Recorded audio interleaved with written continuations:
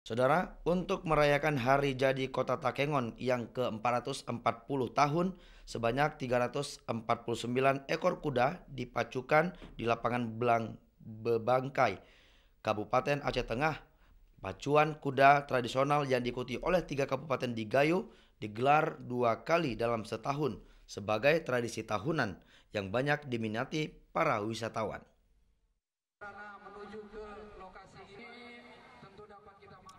Pacuan kuda tradisional yang digelar di lapangan Belang Bebangka, Kecamatan Pegasing di Kabupaten Aceh Tengah, Aceh, sudah menjadi tradisi tahunan dalam memperingati hari ulang tahun kota Takengon, Aceh Tengah yang ke-440 tahun.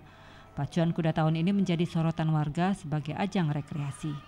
Untuk memeriahkan hari jadi kota Takengon, sebanyak 349 ekor kuda dipacukan di lapangan Belang Bebangka, Aceh Tengah dari 349 ekor kuda tersebut, 180 ekor kuda asal Aceh Tengah, sementara 120 ekor kuda dari Benar Meriah dan 57 ekor dari Gayo Luas.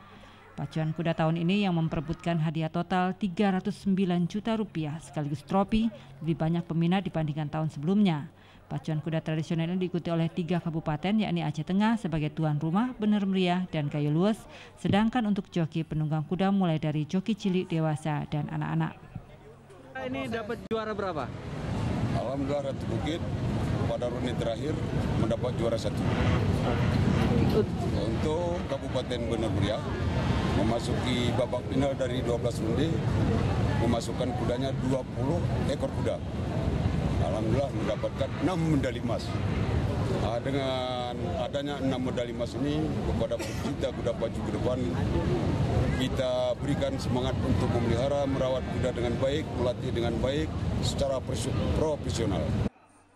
Pacuan kuda ini menjadi sorotan warga yang datang dari berbagai kabupaten kota sebagai ajang pesta rakyat. Selain itu, pacuan kuda tradisional mempunyai keunikan di mana para joki cilik yang menunggang kuda tanpa memakai pelana. Tim Liputan TVRI melaporkan.